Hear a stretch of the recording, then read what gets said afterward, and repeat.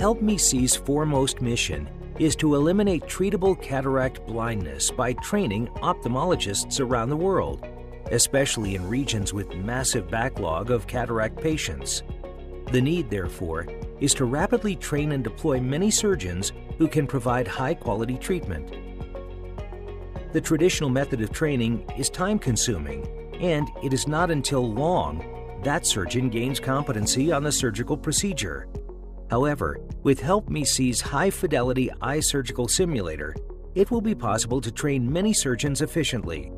Surgeons will have unlimited demo or practice sessions on how to perform surgery on the simulator, which will make them better equipped and more competent to perform live surgeries. However, simulation by itself is not enough to provide effective training.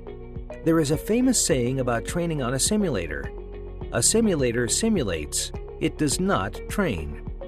Help Me See's MSICS simulation-based training is a competency-based bespoke training program and is predominantly instructor-led. Although the primary training method is simulation-based, the course offers multiple methods to learn the cognitive and psychomotor skills involved in learning MSICS. The various learning methods include self-study, instructor-led classroom sessions, hands-on lab exercises, simulation-based training sessions, of course, and feedback sessions through debriefs following the simulator learning sessions.